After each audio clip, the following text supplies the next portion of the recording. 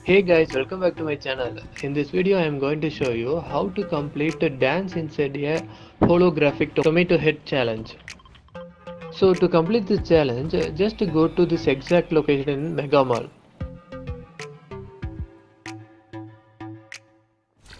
Now you need some materials to go inside this uh, tomato head. So just get some uh, brick from here.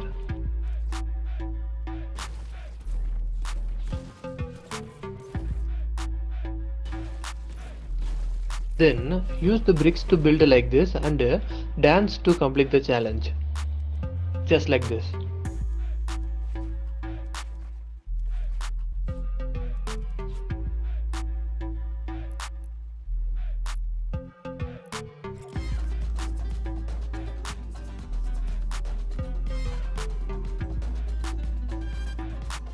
Hope this video helps guys and if you want to support my channel use code MISH in the item shop.